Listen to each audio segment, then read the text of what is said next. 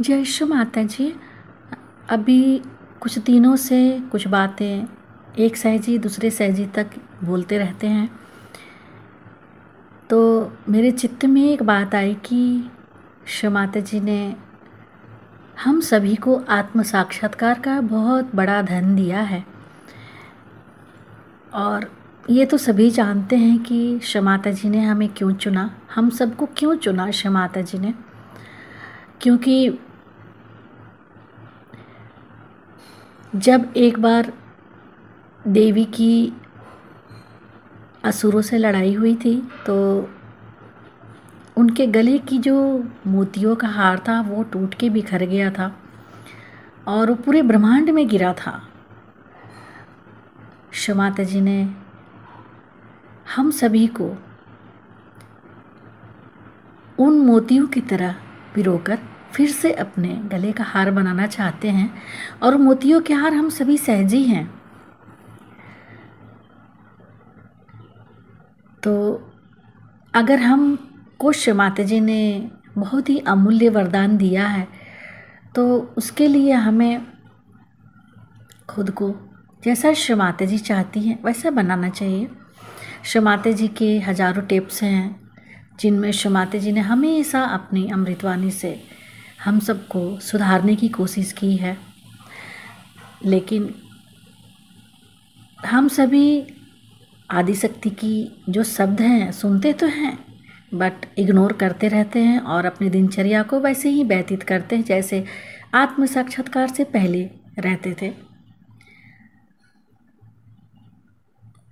जब शमाता जी ने हमें चुना है तो हम विशेष लोग हैं और शमाता जी ने बोला है कि हमें हज़ार हाथ चाहिए सहयोग के कार्य करने के लिए। शमाता जी को थाउज़ेंड सहजी चाहिए। हज़ार हाथ चाहिए, लेकिन हम वो हाथ नहीं बन पा रहे हैं। इसके पीछे एक बहुत बड़ा कारण है कि हम एक सहजी से दूसरे सहजी की आलोचना करते हैं। जब कभी मिलते हैं तो या फ़ोन कॉल्स पे, हमेशा एक दूसरे की हम बुराई करते हैं। शायद आपको ये नहीं पता कि हम सभी शुमाता जी के अंग प्रत्यंग हैं। अगर हम एक दूसरे की बुराई करते हैं तो हमारी जो देवी हैं शुमाता जी, उनको कष्ट होता है। और उन्होंने ये भी बोला है एक ऑडियो या वीडियो में कि, आप लोग यहाँ एक दूसरे को गिराने के लिए नहीं आए सहज योगा में। उनको हमें सहयोगा में लाने का एकमात्र उद्देश्य था कि देवी के जो कार्य रुके हुए हैं पृथ्वी पर, उनको पूरा करने के लिए शमाता जी ने हमें सहयोगी बनाया है। लेकिन हम उनके रुके हुए कार्य को पूरा नहीं करते और चित्त में हमेशा एक सहजी से दूसरे सहजी की बुराई करते हैं, कमेंट करते हैं। इससे हमारे जो संग शक्ति है, वो नष्ट हो रही है। जो सहजी की सामूहिकता है, वो सेंटर पर या कहीं भी कलेक्टिविटी में कम होती जा रही है। अगर है भी तो उसमें वो पावर नहीं है, वो शक्ति नहीं है, वो प्रेम नहीं है, जो माता जी हमें देखना चाहते थे। क्योंकि हम यहाँ किसी को गिराने या उसकी टांग खींचने नहीं आए, हम केवल और केवल परमेश्वरी शक्ति का यंत्र बनने आए हैं। इस बात को आप लोग हमेशा याद रखें कि हम सभी केवल और केवल। उस परमेश्वरी के यंत्र हैं इंस्ट्रूमेंट हैं, जो केवल और केवल उनके सपनों का साकार करने आए हैं। इस सपनों के साकार की यात्रा में हमेशा एक दूसरे की साथ दीजिए। एक दूसरे की उस कार्य को सराहना कीजिए। क्योंकि जितने भी कार्य पृथ्वी पर श्रमाते जी ने हमारे माध्यम से करने हैं, वो उन्हीं को करने हैं। बस हमें केवल और केवल माध्यम बनना है। लेकिन अगर माध्यम इस तरह के होंगे जैसे आजकल सब सहजी हैं तो परमात्मा भी अपना हाथ हटा लेते हैं। और जो अभी पृथ्वी पर हो रहा है, संगार या बीमारियाँ, ये उन्हीं का है कि हम सभी सहजी सुधरे नहीं। आदिशक्ति के तमाम कार्यों के बावजूद भी हम सहजी सुधर नहीं पा रहे हैं और पृथ्वी का नाश होने वाला है। पृथ्वी नष्ट होने जा रही है।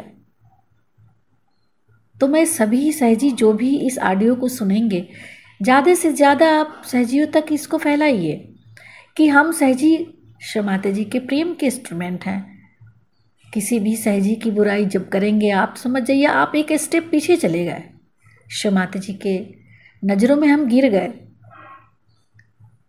इसीलिए हमें और केवल और केवल श्री माता जी के सपनों को साकार करना है। इस लाइन को पकड़ के आप रोज़ ध्यान कीजिए और क्लियरेंस कीजिए। क्लियरेंस नहीं करते हम। बातें बहुत करते हैं, बट क्लियरेंस कोई सहजी नहीं करता। बहुत कम परसेंट में है जो और चित्त को हम अपने ऊपर न रख के अभी सभी सहजी को हम देते हैं। अपना जो फालतू चित्त है उस फालतू चित्त को केवल और केवल शिव माता जी के श्री चरणों में रख के अपना उत्थान करें। और एकमात्र लक्ष्य हमारा होना चाहिए शिव माता जी के सपनों को साकार करने का। जय शिव माता जी तीन महामंत्र।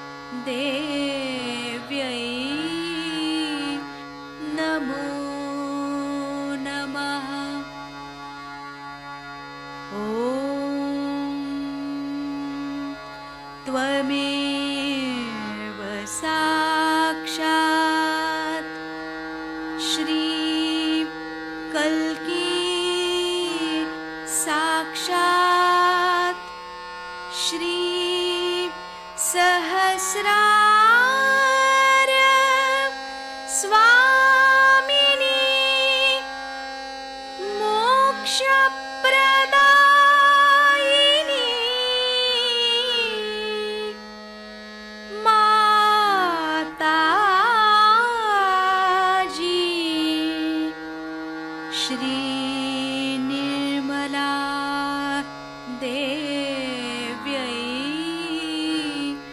नमो नमः। श्री गणेश मंत्र ॐ त्वमेव साक्षात् श्री गणेश साक्षात् श्री आदिशक्ति माताजी, श्री निर्मला नमो नमः।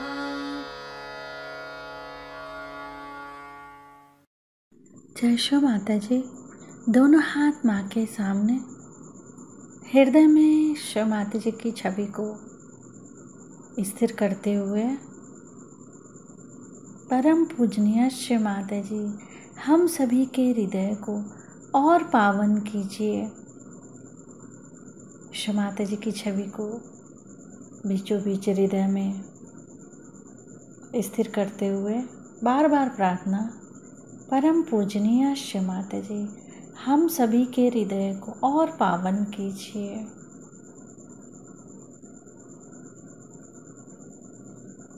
माँ के श्री चरण कम श्री माता जी के श्री चरण कमलों को बीचों बीच हृदय में देखेंगे।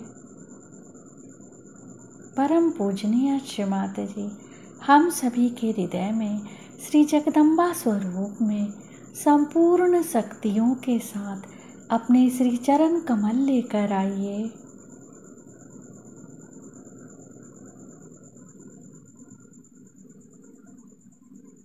धीरे धीरे अपने संपूर्ण चित्त को दोनों हाथों पे, दोनों हाथों की बीचों बीच हथेली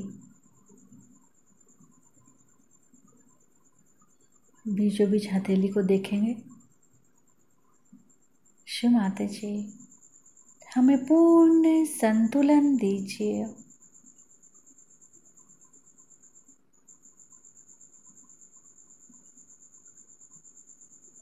धीरे धीरे अपने संपूर्ण चित्त को अपने पिंगला नाड़ी पे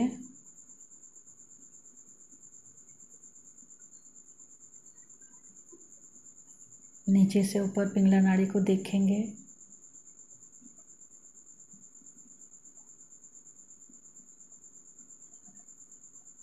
शिव माता जी, आप ही तो श्री महासरस्वती भी हैं। हमारे पिंगला नाड़ी में इनकी शक्ति को पूर्ण जागृत कीजिए।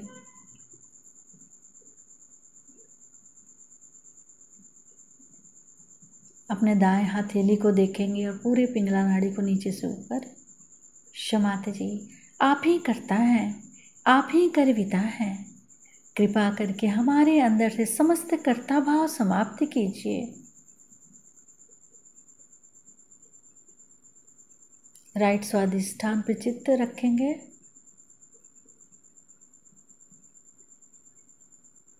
राइट स्वादिष्ठान से सिर के तालु भाग को जोड़ेंगे।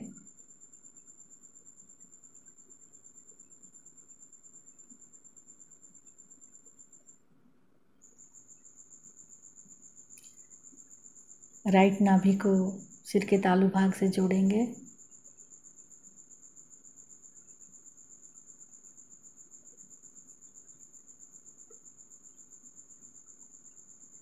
राइट हृदय को सिर के तालु भाग से मिलाएँगे।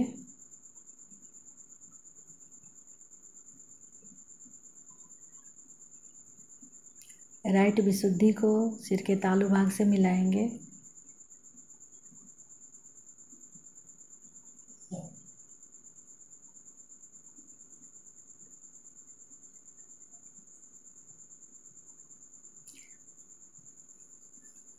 राइट आज्ञा को सिर के तालु भाग से जोड़ेंगे।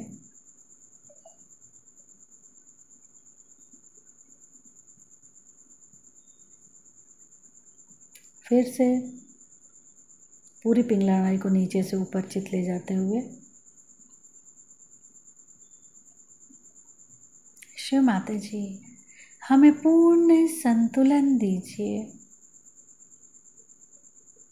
चित्त को सिर के तालु भाग पर स्थिर करते हुए, श्री निर्विचारिता मंत्र, ओम त्वमेव साक्षात श्री निर्विचारिता साक्षात श्री आदि शक्ति माता जी श्री निर्मला देव्य नमो नमः। अंदर। स्वयं चालित शक्ति जिसे कहते हैं, जिसे अंग्रेज़ी में ऑटोनॉमस नर्वस सिस्टम कहते हैं, वो सूक्ष्म तरह से अपने पीठ के रीढ़ के हड्डी के अंदर मज्जा रज्जू में स्पाइनल कॉर्ड के अंदर मेडुला ब्लॉन्गेटा में स्थित है। मैंने आपसे बताया था कि ये तीन सूक्ष्म शक्तियाँ हैं जिनसे हमारी ऑटोनॉमस नर्वस सिस्टम चलती है। स्वयं चालित संस्था चलती है। वो दो शक्तियाँ जो कि लेफ़्ट में और राइट में हैं, एक का नाम ईड़ा और दूसरी का पिंगला है। और जो बीच में है, उसका नाम सुषुम्ना है। ये तीन नाड़ियाँ और इन तीन नाड़ियों पे जो तीन शक्तियाँ हैं, उनका नाम, जो लेफ़्ट में है, उसका महाकाली, जो राइट में है, उसका महासरस्वती, और जो बीच में है, उसका महालक्ष्मी। महाकाली शक्ति से हमारी स्थिति और लय होती है। महासरस्वती से हमारी शरीर धारणा तथा पूरा हमारा विचार का कार्य आगे की जो कुछ तजवीज है, जो कुछ भी हम लोग प्लानिंग करते हैं, विचार करते हैं, कार्यान्वित होते हैं, जो कुछ हमारी सृजन शक्ति है क्रिएटिव कैपेसिटीज हैं, वो सब उससे प्रदर्शित होती हैं मैनिफेस्ट होती हैं। और जो बीच की शक्ति है, जिसे कि हम महालक्ष्मी की शक्ति करते हैं, जिसको इस बंबई शहर में बहुत ज़्यादा मानते हैं लोग इस महालक्ष्मी की शक्ति से ही हमारा इवोल्यूशन होता है, उत्क्रांति होती है। आज अमीबा से जो आज मनुष्य की दशा में हम आए हैं, ये इसी शक्ति के कारण। इस शक्ति के कारण हम अपने अंदर धारणा करते हैं। धारणा माने सस्टेन करना। हर एक वस्तु मात्र में जो धारणाएँ हैं, जैसे मैंने आपसे कल बताया था कि कार्बन में चार वैलेंसीज हैं। हर एक वस्तु मात्र में जो उसकी प्रकृति है या उसकी, जिसे कहते हैं प्रॉपर्टीज़ हैं, वो सारी इसी शक्ति के द्वारा आती है और मनुष्य में भी जो धर्म धारणा होती है, वो भी इसी कारण होती है। मनुष्य का भी अपना कुछ धर्म ज़रूर अवश्य है ही, नहीं तो वो मनुष्य को कहलाएगा। उसके दस धर्म हैं, जिसके बारे में आप साधारण तरह से ये कह सकते हैं कि बाइबल में जिसे टेन कमांडमेंट्स कहते हैं, वही वो दस धर्म है। इन दस धर्मों के अनेक और सूक्ष्म स्वरूप हैं जिसके बारे में हमारे शास्त्रों में आदिकाल से अनेक ऋषि मुनियों ने पता लगाकर उस पर काफ़ी कुछ लिखा हुआ है। कल मैं आपसे आखिरी बार जो बता रही थी वो धर्म के बारे में क्योंकि हम लोग तीनों चक्रों का वर्णन करते हुए जब नाभि चक्र पे आए तो मैंने कहा था कि लक्ष्मी जी का धर्म से बहुत नज़दीक संबंध है। क्योंकि हमारे पेट में धर्म होता धर्म विचार में नहीं होता है। जो मनुष्य विचार से धर्म करता है, वो धार्मिक नहीं धर्म विचार से नहीं होता है, अपने पेट में होता है। जैसे एक साधारण आपसे मैं बात बताऊँ कि अगर कोई वास्तविक धार्मिक आदमी हो, मैंने जिसे रियलाइज़ सोल करना चाहिए। मैं धार्मिक उसे नहीं मानती जो बड़ा पट्टा वट्टा लगा के घूमते हैं, लेकिन अंदर से जो टूटा हुआ आदमी है जो कि परमात्मा से एकाकार हो चुका है, जो असल मायने में योगी है, जो रियलाइज़ सोल है। वो आदमी, अगर किसी ऐसे आदमी के घर में गया हो, जिसने कि मर्डर किया है, लोगों को परेशान किया है, उस आदमी के घर में खाना खाते उसे उल्टी होनी शुरू हो जाए वो बर्दाश्त नहीं कर वो किसी भी नग्न स्त्री को देख नहीं पाएगा, उसको देखते ही साथ उसके अंदर से उल्टी आ जाएगी, उसका पेट उसे बर्दाश्त नहीं कर पाएगा। आप में से भी बहुत से लोग ऐसे होंगे कि वो किसी किसी के घर का खाना ही नहीं खा सकते। उनके घर में जाते होंगे तो उनको उल्टी ही आती होगी। इसका कारण कोई बता नहीं सकता। इसका सीधा कारण यह है कि आपका धर्म उस धर्म से मेल नहीं खा रहा, जो उस घर में। बहुत सारी बातें इस प्रकार आपने अपने जीवन में भी अनुभव की होगी, जिसका उत्तर आपने पाया नहीं होगा। जब हमारा धर्म शिथिल हो जाता है या जब मनुष्य का धर्म गिरने लग जाता है जिस वक्त उसके धर्म की हानि होने लग जाती है। धीरे धीरे वो कॉम्प्रोमाइज करने लगता है, ज़िंदगी के साथ। जब उसका कॉम्प्रोमाइज शुरू हो जाता है धीरे धीरे वो कमज़ोर होता जाता है। जैसे ही वो कमज़ोर हो जाता है कभी कभी उस पर कुछ पिशाच भी आ जाते हैं कभी कभी वही स्वयं एक पिशाच हो जाता है। मनुष्य जब धर्म से गिर जाता है तो वो राक्षस योनि में ही उतर सकता है। क्योंकि जानवरों की योनि में तो अब वो जा नहीं सकता। और देवताओं के योनि में जा नहीं सकता। तो जब वो मनुष्य होकर के और अपने धर्म से च्युत हो जाता है, तब वो कहाँ जाएगा? उसको राक्षस योनि में ही जाना पड़ता है, या उसे नर्क की गति में जाना पड़ता है। अब नर्क है या नहीं, इसकी कोई सिद्धता है कि नहीं, इसका प्रूफ क्या है? साइंटिफिकली माता जी दिखाइए, सो बात हो नहीं सकती। लेकिन हाँ ये बात ज़रूर है कि आपको मैंने आज भी सवेरे दिखाया है और कल भी दिखाया है कुंडलिनी का स्पंदन, जिससे आप देख सकते हैं। कुंडलिनी का स्पंदन आप देख सकते हैं। अपने आँख से, हालाँकि अभी तक आप पार नहीं हुए। और जो लोग पार हो गए हैं, उन्होंने भी उस शांति को अनुभव कर लिया, जिसकी मैं बात कर रही हूँ। उसने विचारिता की, जहाँ मनुष्य साइलेंट हो जाता है अंदर, सब विचार उसके रुक जाते हैं। और वो साक्षी होकर के देखने लग जाता है। ये घटना घटित होती है। इसका कौन सा साइंटिफिक प्रूफ देख सकते हैं, जो कि आप ही के अंदर घटित होती है? समझ लीजिए, कोई अच्छा सुंदर आप संगीत सुन रहे हैं और आप कहें इसका आनंद आ रहा है, इसकी साइंटिफिक कोई वो दीजिए तो कैसे देंगे? आप हो जाते हैं, आपके अंदर ये घटना हो जाती है और आपके अंदर से ठंडी ठंडी सी लहरें चलने लगती है। ये कल आप में से बहुत लोगों को हुआ और उन्होंने इसका अनुभव भी लिया और बहुतों को उसका फ़ायदा भी हुआ होगा और आगे भी इसमें आगे बढ़ना चाहिए। जिन लोगों ने गहराई से इस बात को पकड़ा और आगे चले हैं, वो आज कहाँ से कहाँ पहुँच गए? संसार में रहते ही हुए वो कितने ही ऋषि मुनियों से ऊँचे हो गए हैं और कितने ही लोगों को वो पार भी करें और कितने ही को वो ठीक भी करें। कैंसर जैसी बीमारियाँ भी हमारे यहाँ एक साधारण स्कूल के शिक्षक हैं, उन्होंने कितने लोगों का कैंसर ठीक किया।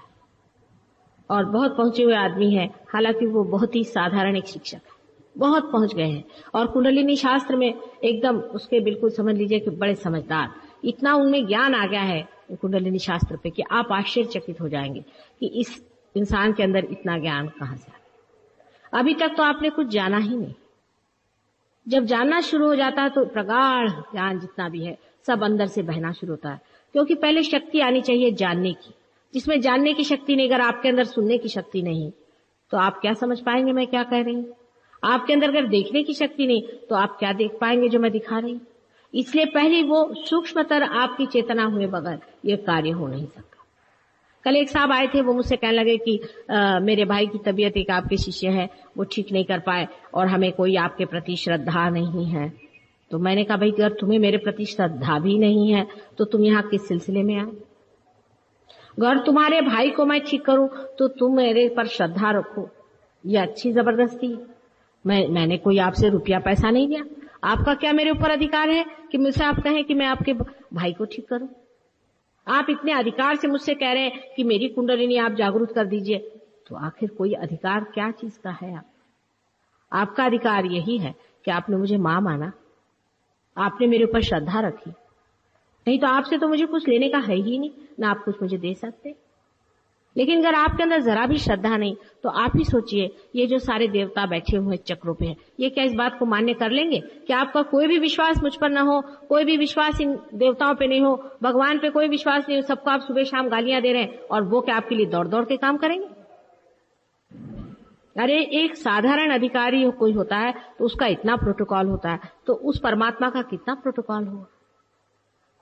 हम लोग कितने अहंकारी हो गए हैं कि हम सोचते हैं हमारी कुंडलिनी जागृत हो जाए, हमारा ये हो जाए, हमारा वो हो जाए, और हमें बिल्कुल ही परमात्मा के प्रति श्रद्धा नहीं, हम बड़े लाट साहब हैं तो बैठे रहिए ऐसे लोगों को जागृति होना बहुत कठिन है, मैं पहले ही बता दूँ। ज़रूरी है कि आप श्रद्धा से आए। श्रद्धा किसानों में बहुत होती है। मैं राहुरी गई थी, मुझे आश्चर्य हुआ। हज़ारों आदमी आए थे पाँच पाँच छह छह हज़ार के क्राउड्स में खड़ा खड़ लोग पार हो रहे थे।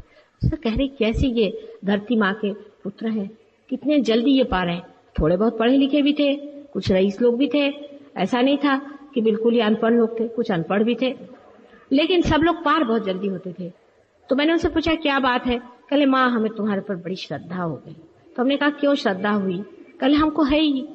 हम खेती वाले लोग हैं, हम बगैर श्रद्धा के खेती कैसे करें? खेती तो हो ही नहीं सकती बगैर श्रद्धा के। सही बात। श्रद्धा के बगैर खेती नहीं हो सकती। मनुष्य जब सोचता है कि ज़मीन किस तरह से एक बीज है, उसको उगाती है, अपने आप उसमें से इतने फल देती और कुछ नहीं चाहती कि हम उसे दें, उसको देख करके मनुष्य ज़रूर आश्चर्यचकित होता है और देखता है कि कितना बड़ा मिराकल है, कितना बड़ा आश्चर्य है। और हम लोग यहाँ पर बाज़ार में जाके खरीदते हैं तो हमें we take it for granted हमको लगता ही नहीं है कि ये कोई विशेष बात हो, ये कोई मिराकल परमात्मा परमात्मा के प्रति श्रद्धा होना। एक सहज बात है, अत्यंत सहज है। क्योंकि जो कुछ भी हमें मिला है, सोचिए, आज हम अमीबा से भी इंसान हुए हैं तो अपने बूते पर नहीं हुए परमात्मा ने ही अनेक बार संसार में अवतार लेकर के, उन्होंने दस अवतार संसार में लिए थे, और उन दस अवतारों में से उन्होंने हर अवतार में अत्यंत मेहनत करके और आप लोगों को आज इस दशा में लाके छोड़ा। ये बात सही? ये है या नहीं, इसको तो हम बाद में साक्षात कराएँगे। हमने आपसे कल ही कहा था कि एज अ साइंटिस्ट आप अपनी सिर्फ़ बुद्धि खुली रखें। उसके बाद हर एक चीज़ का साक्षात आपको हम करा सकते ऐसे परम शक्तिमान परमात्मा के सामने हमको नतमस्तक होकर ही आना चाहिए। जो मनुष्य अपने को परमात्मा से भी ऊँचा समझता है, वो बैठा रहे। पर एक माने में है, मनुष्य को परमात्मा ने अपने से ऊँचा बनाया। ये बात सही है। एक माने में जहाँ परमात्मा भी हार जाता है और हम भी हार जाते हैं। वो है कि आपको परमात्मा ने स्वतंत्रता दी आपको अपनी उत्क्रांति इवोल्यूशन मनुष्यता के लेवल पे आने पर, इस प्लेन पर आने पर स्वतंत्रता से ही ढूंढनी पड़ेगी। आप पे ज़बरदस्ती हम नहीं कर सकते कि हम चाहे कि आपको मंत्र मुग्ध कर दें, कि आपको हम बेहोश कर दें, कि आपको ट्रांस में डाल दें, आपको बेवकूफ़ बना लें। इस तरह से नहीं हो सकता। पूरे होश, पूरी अवेयरनेस में आपको इसका चयन करना होगा, इसका डिसीज़न लेना पड़ेगा, इसको मान्य करना पड़ेगा कि हाँ मैं परमात्मा के रास्ते पे चलने वाला हूँ, मुझे परमात्मा की शक्ति जाननी है, तभी होगा। इस माने में आप सबसे ही ऊँचे प्राणी मात्र में ये प्रश्न नहीं रहता है। ये प्रश्न मनुष्य का है और मनुष्य के सामने परमात्मा इसीलिए झुक गया कि उसका इवोल्यूशन उसकी उत्क्रांति इस दशा में आने पर स्वतंत्रता के बगैर हो ही नहीं सकती। क्योंकि अगर आपको हमें राजा बनाना है तो आपको अपनी स्वतंत्रता में ही हम राजा बना सकते हैं। अगर आप स्वयं परतंत्र हैं और आप अगर हमारी वजह से कोई कार्य कर रहे हैं तो हम आपको कैसे राजा बनाएँगे? ये सबसे बड़ा लिबरेशन है, सबसे बड़ी मुक्ति है। और सबसे बड़ी मुक्ति के लिए पहले मनुष्य की बुद्धि थोड़ी बहुत स्वतंत्र होनी चाहिए। उसका डिसीज़न स्वतंत्रता से होना चाहिए। हर एक आदमी को पूर्ण स्वतंत्रता से इस बात को स्वीकार्य करना चाहिए कि हाँ हम इसको चाहते हैं। पूर्ण श्रद्धा का मतलब ही अत्यंत स्वतंत्रता है। कल हमने आपसे तीन चक्रों के बारे में बताया था। आज बहुत से लोग नए आए हुए हैं और उनमें से मैंने बताया था कि मूलाधार का चक्र सबसे नीचे में है, जिसमें श्री गणेश की शक्ति, जो कि इटर्नल चाइल्डहुड है, वो है। और इसका जो महत्वपूर्ण पॉइंट मैंने बताया था कि मूलाधार जो देवी जी का, गौरी जी का, या जिसे कहना चाहिए, कुंडलिनी शक्ति का स्थान है त्रिकोणाकार, उससे नीचे, ऊपर नहीं, उससे नीचे। सो, कुंडलिनी को अगर उठाना है तो मूलाधार चक्र को नहीं छूना चाहिए, जिससे सेक्स कंट्रोल होता है। मूलाधार चक्र का संबंध सेक्स से है, क्योंकि श्री गणेश एक छोटे से बालक हैं और उन्हें छोटे बालकों का इस मामले में कुछ मालूम नहीं होता। वो अबोध होते हैं, उनमें इनोसेंस होता है।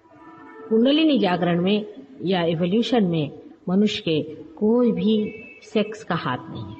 वो पहले ही से सब्लिमेटेड है। किंतु मनुष्य का इस वक्त उल्टा ही संबंध है। वो ऐसा कि जब वो परमात्मा के सामने अपने हाथ फैलाए और ये चाहे कि अपनी कुंडलिनी जागृत हो तो वो जान ले कि कुंडलिनी मेरी माँ है। सदा सर्वदा मेरे साथ रहने वाली मेरी पवित्र माँ है। और उसके प्रति अत्यंत पवित्र बालक जैसे उनके प्रति अपना विचार रखें, जैसे श्री गणेश का गौरी जी के प्रति था। बाद में अपने देश में तांत्रिक लोगों ने आकर के यही सारा भी प्रयास कर दिया। कभी अगर टाइम हो गया तो उस पर भी बताऊँगी मैं तांत्रिक पर पर बात यह कि यही भी प्रयास करके उन लोगों ने सारा सर्वनाश इस देश में फैलाया। लेकिन जो सत्य होता है, वो अटूट रहता है, बना रहता है। अपना देश, भारतवर्ष, वास्तविक योग भूमि है। इतनी बड़ी योग भूमि है कि यहाँ पर कोई भी मिथ्या ज़्यादा देर नहीं चल सकता। ये बात सही। और इसीलिए आज भी इस देश में ये कार्य हो सका है। नहीं तो इस देश में अनेक प्रयत्न हुए हैं कि इस देश की पवित्रता टूट जाए, लेकिन टूट नहीं सकी। अनेकों ने किया। अभी अभी तक ऐसे बहुत से लोग हुए हैं कि जो गंदी बातें फैला रहे हैं, लेकिन ये देश उस तरह से नहीं टूट सका, जैसे कि पाश्चिमात्य देशों में पूरी तरह से नष्ट भ्रष्ट हो गए। कितनी कमाल की बात है कि हमारे देश में अभी तक ये पवित्रता का संबंध माँ बेटे का बना हुआ। दूसरा चक्र हमारा जो है, मैंने आपसे स्वादिष्टान चक्र बताया था, जिससे कि हम सारे क्रिएटिव वर्क करते हैं और जिसकी शक्ति जो है सरस्वती है। तीसरा चक्र मैंने लक्ष्मी जी और नारायण, मैंने विष्णु जी का बताया था।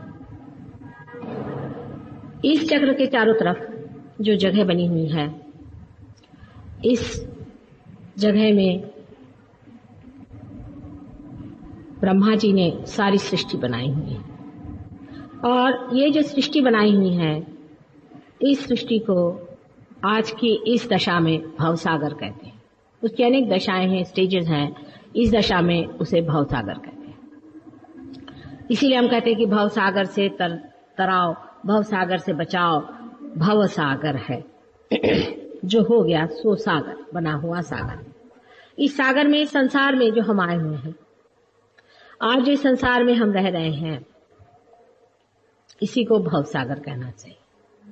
और युग में आज कलयुग है, ये भी बात सही आज कलयुग है, अत्यंत घोर तरह का कलयुग है, और साथ ही साथ सतयुग भी शुरू हो गया। कलयुग चल रहा है, उसी के साथ साथ सतयुग भी शुरू हो गया। इस भव सागर में हमारे अंदर एक बड़ी महान शक्ति बार बार अवतरित हुई है। ये विराट का चित्र है और विराट का ये भवसागर है। इस शक्ति का नाम है गुरु संपदा। आदि गुरु दत्तात्रेय इन्होंने इस संसार में अनेक बार जन्म लिया आदिनाथ, जिसको कि जैन लोग मानते हैं, उन्हीं का अवतरण है। उसके बाद दत्तात्रेय जी भी उन्हीं का अवतरण है। राजा जनक उन्हीं का अवतरण है। इसे हम नानक और नानकी कहते हैं, वो भी जनक और जानकी ही है। और मोहम्मद साहब भी इन्हीं का अवतरण है। और उनकी लड़की जो फातिमा थी, वो भी जानकी थी। उसके जो दो लड़के थे, वही लव और कुश थे। वही आगे जा करके संसार में आने के बाद अनेक बार उनके जन्म होते हैं। वो पहले लव और कुश थे। लव और कुश के बाद वो महावीर और बुद्ध, इन दोनों के रूप में जन्म लेकर इस संसार में आए।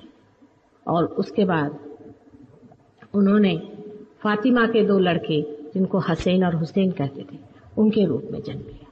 ये बात सत्य है या नहीं? इसको आप फिर से कुंडलिनी पे साक्षात करें। जैसे कि एक मुसलमान डॉक्टर जो कि ईरान में रहते हैं, लंदन में मेरे पास आए और मुझसे कहने लगे कि मुझे बहुत बुरी तरह का कैंसर हो गया है माँ, और मैं इसे कैसे ठीक करूँ? मैंने कहा, तुम तो मुसलमान हो और तुम्हारा विश्वास कोई भी और गुरुओं पे तो हो नहीं सकता सिवाय मोहम्मद साहब के। तो उनका हाँ मैंने कहा, फिर मैं तुम्हारा कैंसर नहीं ठीक कर सकता। कहने क्यों? मैंने कहा, ये तो इम्बैलेंस से होता है, हमेशा कैंसर इम्बैलेंस से होता है। तुम्हारे अंदर इतनी ज़ोर से घनीभूत ये भावना बैठी हुई है कि मोहम्मद साहब ही एक अवतरण हो गए और क्या उनके अनेक नहीं हो सकते? हालाँकि मोहम्मद साहब ने हज़ार बार कहा है कि मेरे जैसे और अनेक आएँगे। उन्होंने अनेक बार कहा है, लेकिन मुसलमान इस बात को मानने के लिए तैयार नहीं कि उनके जैसे अनेक आए हैं और आएँगे। तुझसे कहा उन्होंने कहा तो है लेकिन हमने किसी को देखा नहीं. मैंने कहा अच्छा अगर तुम दत्तात्रेय जी का मंत्र जपो तो, तो हम तुम्हें ठीक कर सके. जब पहले तो बहुत नाराज़ हो गए वो मुसलमान साहब। वो चले गए गुस्से होकर मेरे साथ। उसके बाद पर कैंसर की बीमारी होती है ऐसी है कि क्या करें? फिर आए दौड़े दौड़े कि अच्छा माता जी जो भी कहो मैं करने को तैयार अब उनकी तबीयत ठीक है। क्योंकि खुद दत्तात्रेय इस बात को नहीं गवार कर सकते कि आप मुझे इतने हिस्सों में क्यों बांट रहे हैं? मनुष्य चाहता है इस तरह से अपने को बांट, परमात्मा अपने को बांटना नहीं चाहता है। चाहता है कि मैं मुसलमान मैं हिंदू परमात्मा के लिए घिनौनी बात। अजीब सी चीज़ है कि कोई कहे कि मैं नाक हूँ, मैं आँख हूँ, मैं कान इसी तरह से बेवकूफ़ी की बात करना। परमात्मा ने सारी सृष्टि में मनुष्य को बनाया है।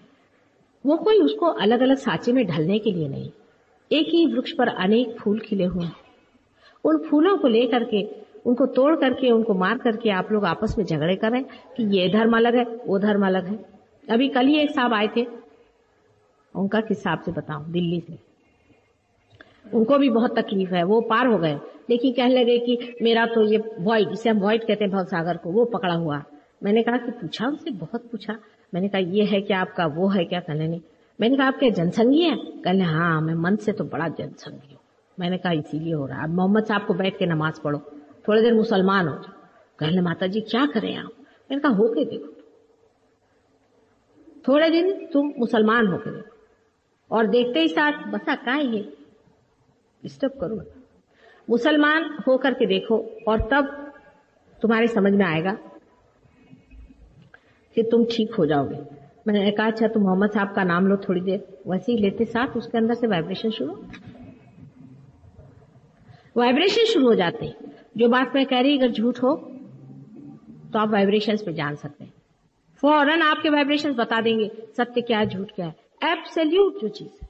अभी तक आपको पता ही नहीं, माँ कह रही, ये सच्चा है? कि वो कह रहे, वो सच्चा है। तुम हर एक चीज़ का देख लो। इसका प्रत्यक्ष सामने। आप लोग बिल्कुल कंप्यूटर जैसे हैं। सिर्फ़ आपके कंप्यूटर को अभी मेल्स में लगाने की ज़रूरत है। जैसे आप मेल्स में लग जाएँगे, आपको फ़ौरन पता हो जाएगा, कौन सी चीज़ सच्ची, कौन सी चीज़ झूठी। मैंने कुछ गुरुओं के बारे में कहा, भाई ये गुरु ठीक नहीं। तो साहब बहुत गुस्से हो गए। मैंने कहा अच्छा भाई, तुम पार हो जाओ, फिर देखना। उसके बाद अब उनका ये हाल है कि वो जो गुरु का कोई नाम लेता तो कहते हे भगवान, किसका नाम लिया? भागते वहाँ जो सच्चा और झूठा है, उसको पहचानना ही चाहिए। क्या मुझे ये नहीं कहना चाहिए कि जो सच्चा है, वो सच्चा है, जो झूठा है, वो झूठा है? आप अगर कबीरदास को पढ़े उन्होंने तो पूरे अपने कबीरदास की जितनी सुक्तियाँ सब में ऐसा निकाला कि ये चोले वाले और ऊपर से झगड़े लगाने वाले और ये करने वाले और ये जो साधु पैसे लेते हैं और ये जो ढकोसलेबाजे हैं और ये जो तांत्रिक है, सबको उन्होंने एक एक को ऐसा लताड़ के रखा है जो खेचड़ी करते हैं। दुनिया भर की सबको खूब ठीक ठीक करके रखा है। लेकिन कबीरदास को कौन पढ़ेगा? हिंदी भाषी लोगों में से कबीरदास किसी ने नहीं पढ़ा होगा। मैं आपसे बता मनोहर कहानियाँ। फिर वो एमए इन हिंदी होंगे तो भी वो मनोहर कहानियाँ ही पढ़ते रहे। ये मनुष्य की वृत्ति है, आज हिंदुस्तान की मनुष्य की वृत्ति बहुत उथली हो गई। कबीरदास को पढ़िए तो रोंगटी खड़े जा रहे। अकेले आदमी ने जुलाहा के लेवल पे होते हुए, ऐसे लताड़ के रखा सबको, लैशिंग जिसको कहते एक एक आदमी की पोल पट्टियाँ निकाल निकाल कर उसने रखा है, जो जादू मंत्र दिखाते हैं, जादू टोने दिखाते हैं। नानक को देखिए। नानक ने चैप्टर्स आफ्टर चैप्टर्स लिखे ढोंगी लोगों पर। ये पैसे बनाने वालों पर, ये चमत्कार दिखाने वालों पर, सब पे चैप्टर्स आफ्टर चैप्टर्स लिखे उसको काहे को कहीं जाने को इन्हीं लोगों को पढ़ो। मराठी लोगों ने तुकाराम को इतना पढ़ा होगा, पर किसी को ये नहीं मालूम कि उन्होंने इस पर कितना लिख मारा। और मालूम भी होगा तो भी आँख बंद करके, आमचे गुरु आहे, वो तो मराठियों के तो ऐसा स्टैम्प पोस्ट जैसे गुरु चिपक जाते। उसको आप बोल नहीं सकते फिर। तुमचे गुरु कौन? तो वो वहाँ के गुरु है। अच्छा उनका क्या नाम? अब आपने उनको मान लिया। और क्या वो मेरी बीबी को लेके भाग गए तो भी हर जाने मेरे लिए वो माँ हो गई। और गुजरातियों को तो टाइम ही नहीं, सब पैसा इकट्ठा कर। भगवान भगवान का। बड़ा बहुत दीप दाप दिखा दिया, हो गया काम खत्म। चलो। इस दशा में हम लोग आ गए हैं। इस योग भूमि में इतनी गंभीरता पूर्वक जिस देश में हमारा रहन सहन है, जहाँ हम रहते हैं, वहाँ हमें कितना गंभीर होना चाहिए, कितनी परमात्मा की हमें लगन होनी चाहिए, कितने उसमें गहरा उतरना चाहिए, उसका विचार किसी को भी किसी को टाइम ही नहीं भगवान के लिए। सारे धंधे करने को टाइम है, भगवान के लिए टाइम नहीं। और उसी में सारा आनंद है बेटी। और कहीं आनंद नहीं, मैं तुमसे सच सच बता दू, तुम कोई भी चीज़ ढूंढ लो। यही गुरु संपदा अपने भारतवर्ष में अत्यंत बलवती और जगह भी हुए बड़े बड़े गुरु, कोई नहीं कह सकता कि कन्फ्यूशियस उसी के एक अवतरण है। और भी जगह बहुत बड़े बड़े गुरु हैं, लेकिन अपने देश में बहुत बड़ी संपदा हो। ज्ञानेश्वर जी हो गए, कितने बड़े बड़े गुरु हो गए, रामदास स्वामी हो गए। लेकिन उनका असर हमारे पर कितना आया कि सिर्फ़ गाना गाना उनके भजन लेकर के सुबह से शाम गाते रहना कि घट ही खोजो भाई, घट ही खोजो भाई, घट ही खोजो भाई। अरे भाई, ये तो उन्होंने प्रिस्क्रिप्शन दिया कि घट को खोजो। तुम लोग वही गाते फिर रहे हो कि घट ही खोजो, घट ही खोजो। अब खोजोगे कब? कबीरदास का भजन बहुत शौक से लोग गाते हैं। उन्होंने गाया है कि शून्य शिखर पर अनहद बाजी। बिल्कुल कुंडलिनी का सारा वर्णन देख चुके हैं। मतलब कोई नई बात थोड़ी ना मैं कहने वाली हूँ आपसे। सारा उन्होंने ईड़ा, पिंगला, सुखमन, नाड़ी रे, सब उन्होंने गा दिया है, कह दिया। वो बैठकर हारमोनियम लेके तबला बजा बजा करके खूब ज़ोर ज़ोर से लोग अरे भाई, गा क्या रहे हो, कबीर दास क्या गा रहे हो, उसमें क्या लिखा?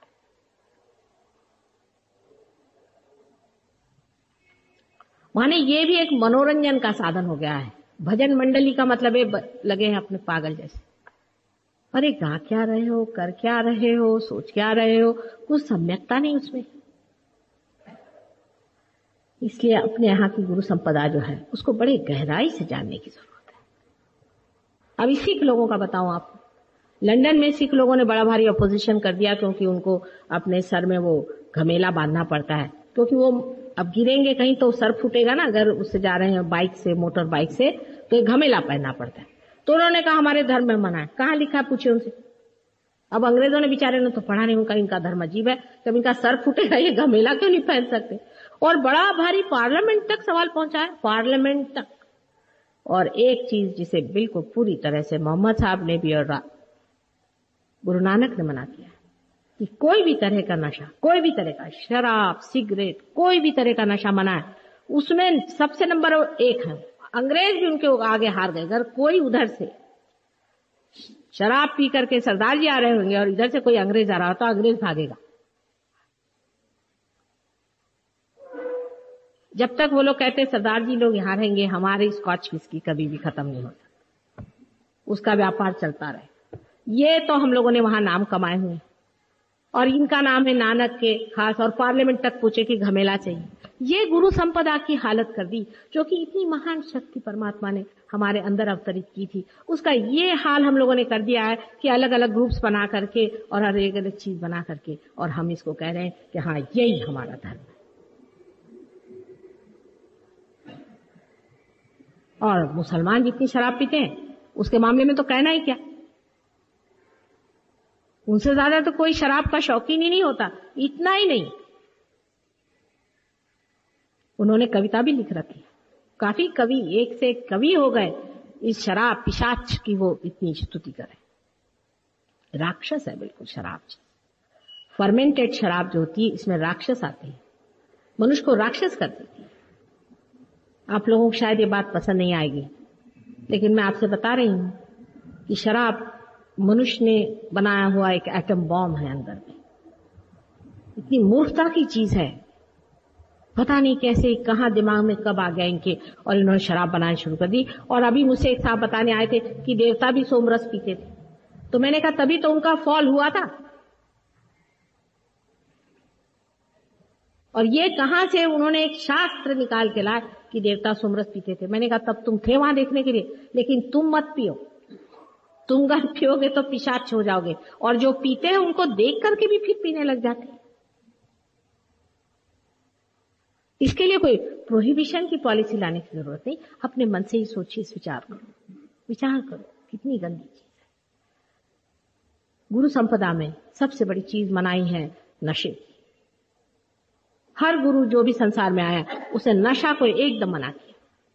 क्योंकि बाकी अवतारों में इसका विचार नहीं हुआ था, इसलिए इन्होंने गुरु संपदा है, उन्होंने किया। बिल्कुल मना था।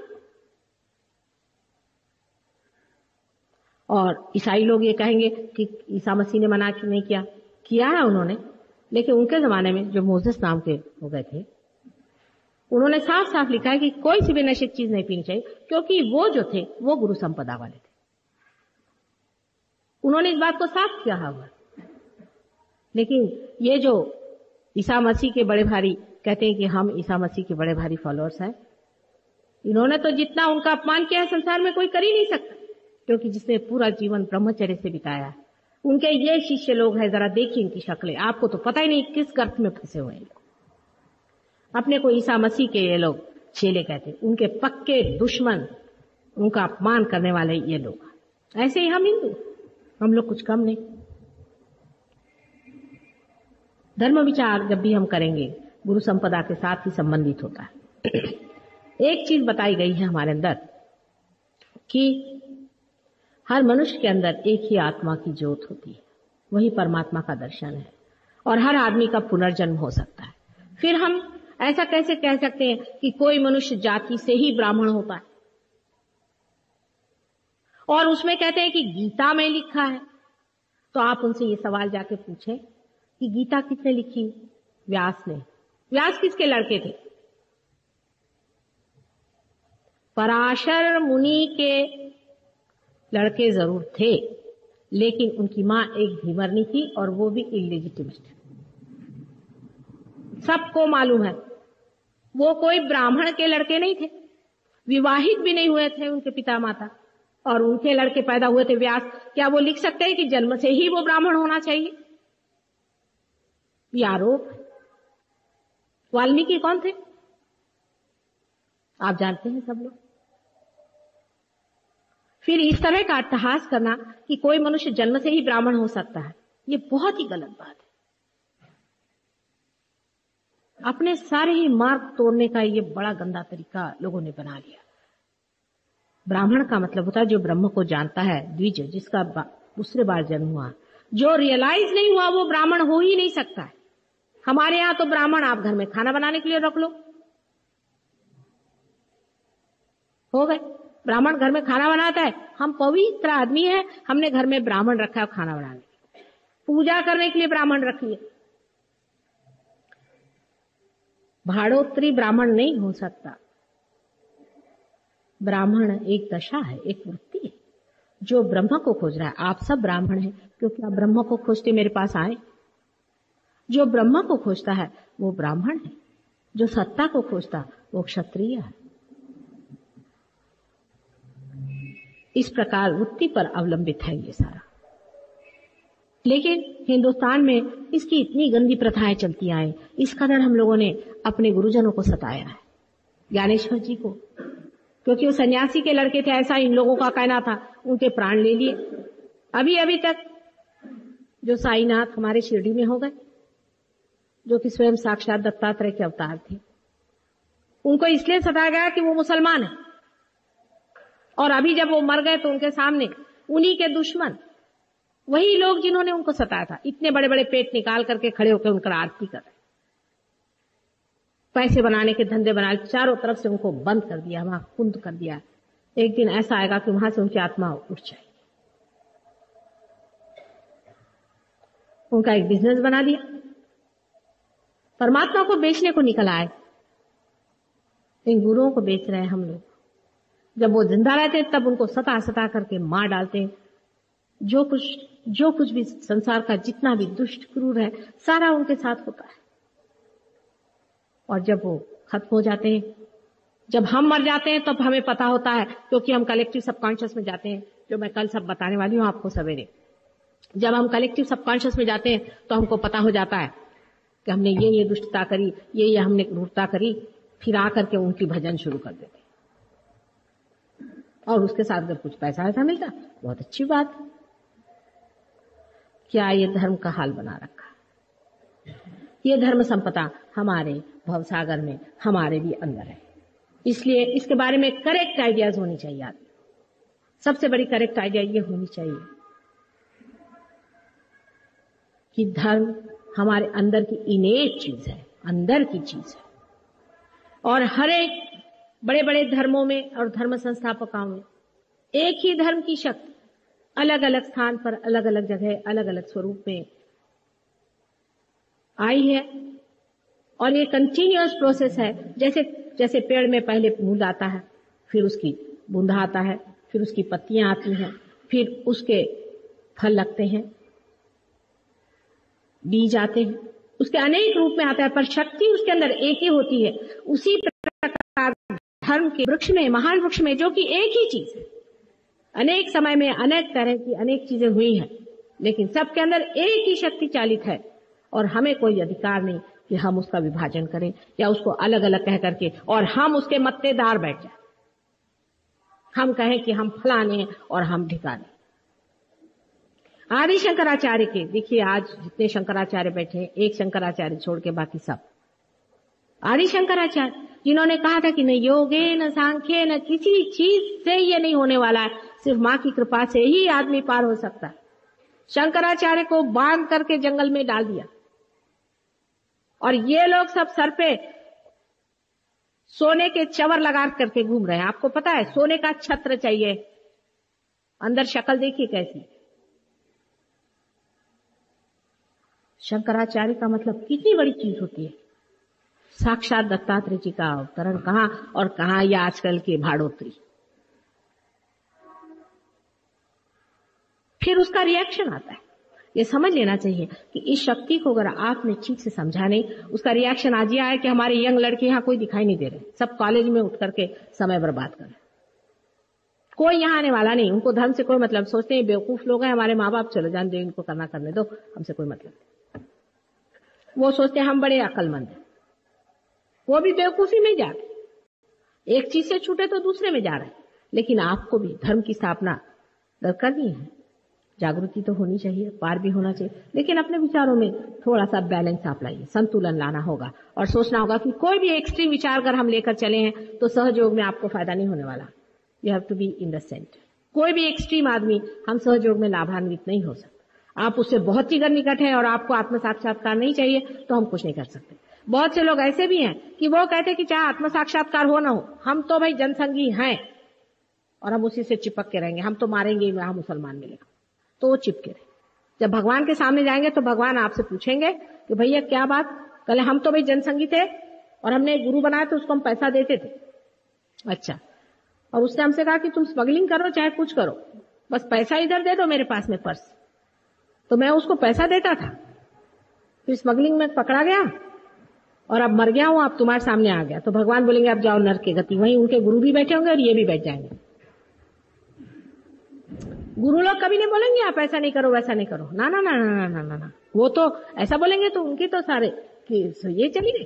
ये तो माँ ही बोल सकती है कि बेटे, ये नहीं करने का। ये करना मना, गलत बात। वो क्यों बोलने चले? उनको तो आपसे पर्स से मतलब है। पर्स यहाँ रखो और आराम से बैठो। हमको गुरु मानते हो ना? भजो हमको और पर्स इधर में दो। काम मृत्यु के बाद, परमात्मा के साक्षात के बाद क्या होगा, इसका उन्हें विचार नहीं। उनको खुद भी अपना विचार नहीं है कि स्वयं उनका क्या होगा। ये पैसे और ये चीज़ें जो इन्होंने इकट्ठी यहाँ कर रखी, इसका क्या बोझा उठा करके ले जाएँगे? ये लोग खुद ही नर्क में, अति घोर नर्क में जाके बैठेंगे इनका भी महान सत्यानाश होने वाला है। इसमें तो कोई शंका नहीं। लेकिन आपको भी साथ लेकर डूबेंगे। इनकी गठरियाँ इनके साथ नहीं जा सकती। ये आप जानते हैं। कोई भी आदमी पैसा आपसे मांगे अगर परमात्मा के नाम पे तो पहले समझ लो कि यहाँ भगवान नहीं मिल सकता।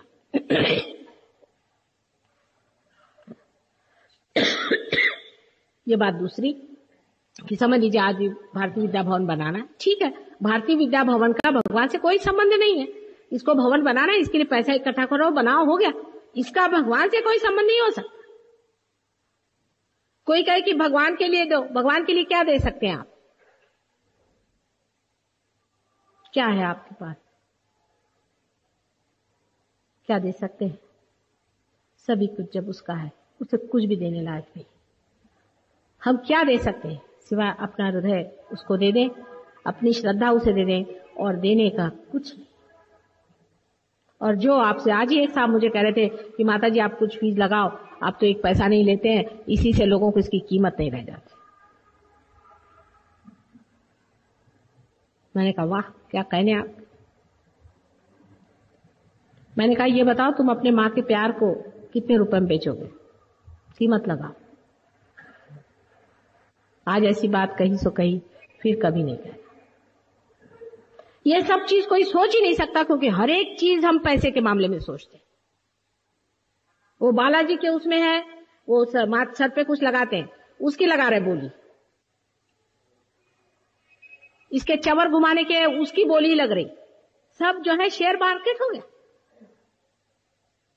तुम लोग अपने माँ के प्यार को भी बेचने निकले हो क्या?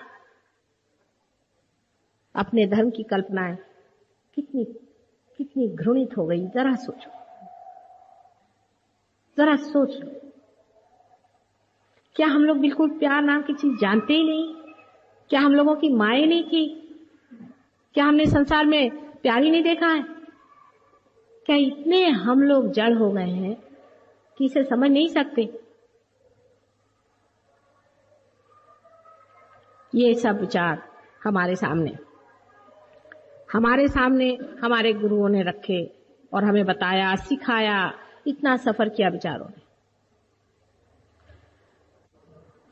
उससे ऊपर जो चक्र है, वो सारे ही गुरु हमारे अंदर स्थित है। वो सारे ही गुरु तुम क्या सारे ही गुरु हमारे ही अंदर रहते हैं और हमारा मार्गदर्शन करते हैं। अगर हमने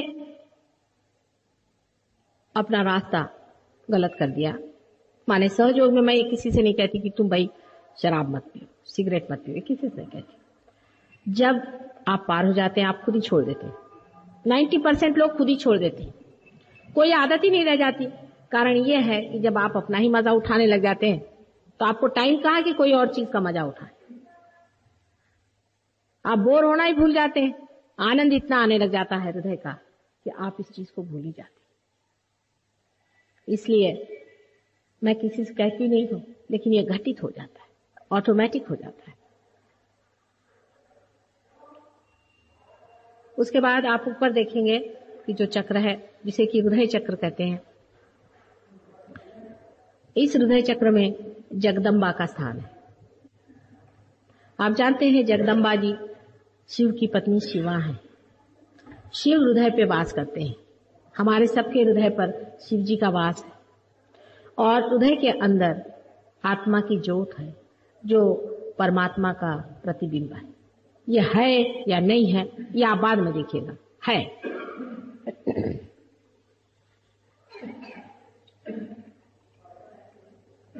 इस प्रतिबिंब स्वरूप आत्म स्वरूप के अंदर एक प्रकाश ज्योति सी है, जो हृदय में रह करके आपके पूरे कार्य को देखती है। आपको पूरा वॉच करती रहती है। वो कहीं इन्वॉल्व नहीं होती, साक्षी होती है, देखती रहती है। और आपके अंदर जो कुंडलिनी त्रिकोणाकार अस्थि में रखी हुई है, उसके ऊपर उसका रिकॉर्डिंग होता है। वो जो कुछ देखती है, वो आत्मज्योत, जो कुछ आपका कार्य जानती है, देखती है, वो हर कार्य को जानती है। आप उसे कुछ नहीं छिपा सकते। वो साक्षी है, देखती जाती है। रिपोर्टर जैसे, और वो सारा इस कुंडलिनी पर उसका प्रकाश पड़ते जाता है, और कुंडलिनी जानती जाती उसका एक त्रिकोण सा बना हुआ है। हृदय से यहाँ पर, माथे के ऊपर सदाशिव जी का पीठ है। वहाँ से कुंडलिनी को इंफॉर्मेशन जाता है। और जैसे कोई टेप रिकॉर्डर होता है, इस तरह से कुंडलिनी सारा नोट करती जाती है। बहुत से लोग कभी कभी मैं उनसे कुछ बात पूछती तो बहुत आश्चर्य माता जी आपको कैसे मालूम? सो तो मैं कुंडलिनी से जो जानती हूँ तुम्हारा सारा टेप ही बजा सकती हूँ। तुम्हारा टेप बजा लिया खत्म। और जो चाहिए वो टेप खींचना भी नहीं पड़ता। सब सामने आ जाता सारा कुंडलिनी में जमा रहता है। और ये आत्म की ज्योत अकेली तना जलती रहती जब कुंडलिनी जागृति होती है, जब कुंडलिनी उठ करके और ब्रह्मरंध्र को छेदती है तो सदाशिव जी का पीठ जो सर के ऊपर में यहाँ पर है सदा सर्वदा आपके ऊपर वो रहता है। इसी के कारण आप में सत सत असत विवेक बुद्धि होती है। कॉन्शियस उसी की वजह से रहता है। और तब जब वो वहाँ जाकर के छू जाती है तो जैसे गैस में एक छोटी सी लाइट चलती रहती है, और उसमें जब गैस का फोर्स आकर के मिल जाता है तो सारा वो प्रज्वलित हो जाता है। उसी प्रकार आपकी सारी चेतना में ही उसका आभास आ जाता है, उसकी चेतना आ जाती है। ये जो हाथ में जो बाद में वाइब्रेशन आपके आते हैं, ये उसी की चेतना का असर है। और उसी के बाद मनुष्य साक्षी स्वरूप हो जाता है। ये घटना घटित होनी पड़ती है। ये कोई भाषण से नहीं होने वाली। अभी जब मैं भाषण आपको दे रही हूँ अभी वाइब्रेशंस मेरे चल रहे हैं और आ रहे हैं। और आपके अंदर उसकी घटना जो भी है, हो रही। लेकिन सब लोगों जो भाषण देते हैं और किताबें पढ़ते हैं, उससे नहीं होने वाले। इसके लिए बड़ा अधिकारी कोई चाहिए। और अधिकारी ऐसा चाहिए कि जो प्रेम में पूरी तरह से परमात्मा से एकाकार अधिकारी का मतलब तो स्पेक्टेकुलर कोई होना चाहिए कि सात मंजिल पे बैठा हो, सब लोग उसके नीचे जाके पाँव हुए। उन्होंने आया, गर्दन एक ने मारी गुरु जी के सर पे, फिर दूसरा उसने गर्दन मारी, वहाँ पच्चीस रुपए रखो, किसी ने पाँच सौ रुपए रखे, और वो चार पंख लगा करके वहाँ बैठे हुए हैं दो सींग लगा करके। नहीं। इसका अधिकारी अत्यंत सीधा साधा होता है। हम लोग राधा जी को आदिशक्ति मानते हैं, सीता जी को मानते हैं।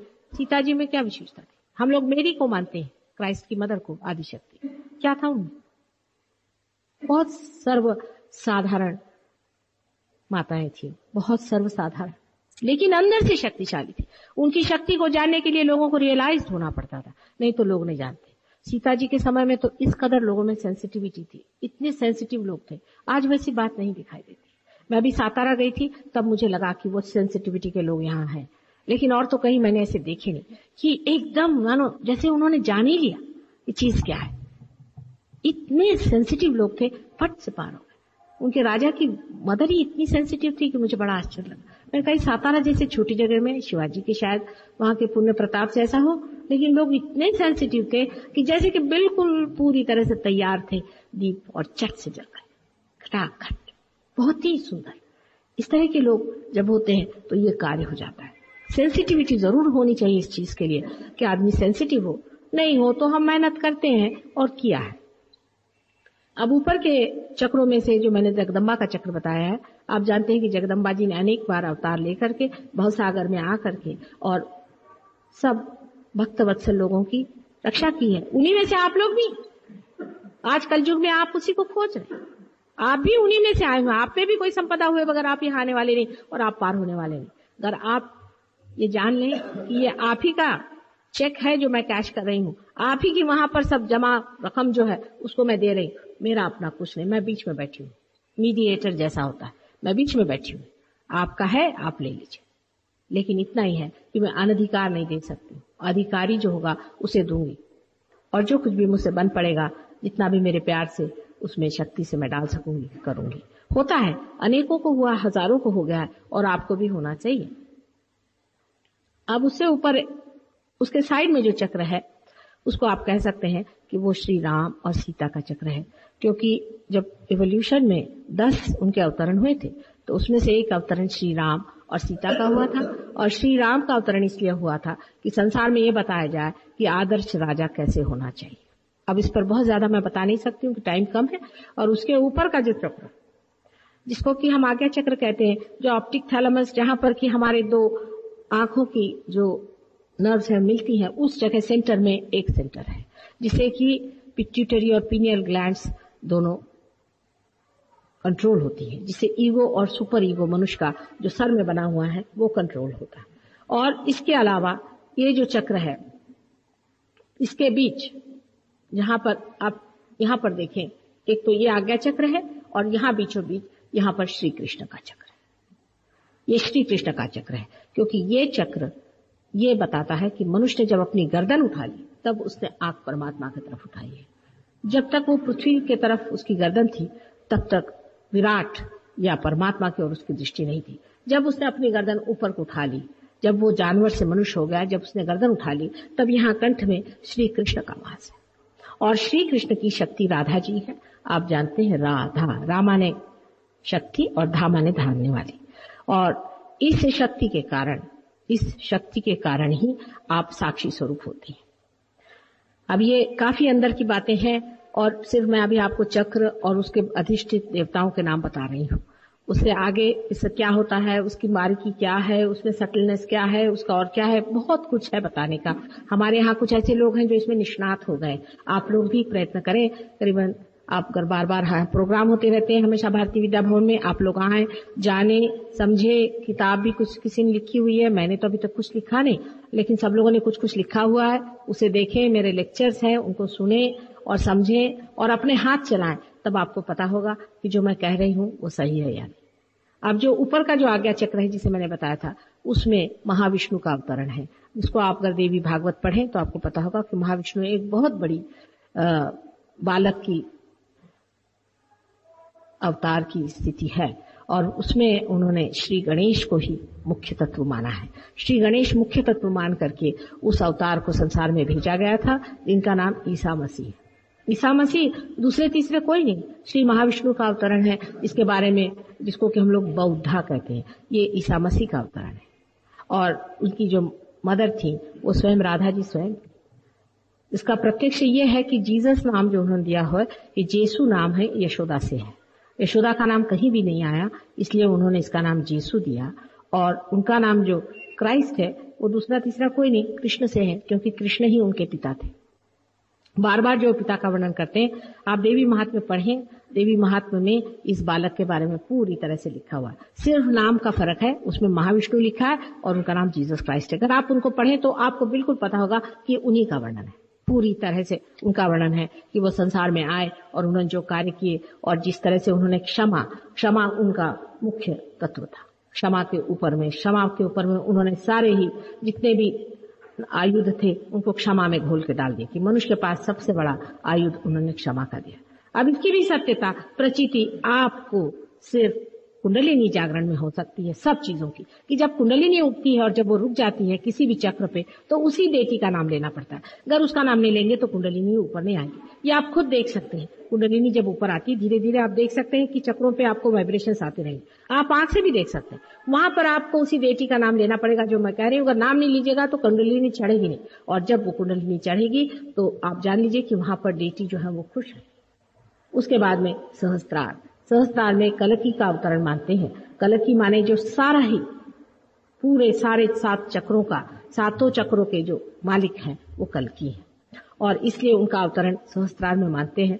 और ये आदिशक्ति का सबसे अत्युच्च अवतरण है, क्योंकि इसी के कारण, आदिशक्ति के कारण ही यहाँ पर सहस्त्रार को खोला जा सकता है। नहीं तो कभी भी खोला जा सकता। साथ ही के साथ ही सारे देवता इस चक्र पे विराजमान होते हैं और ये सहस्त्रार का अवतरण।